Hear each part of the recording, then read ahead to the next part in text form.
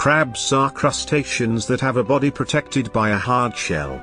Crabs have a pair of strong claws that they use for foraging and protection.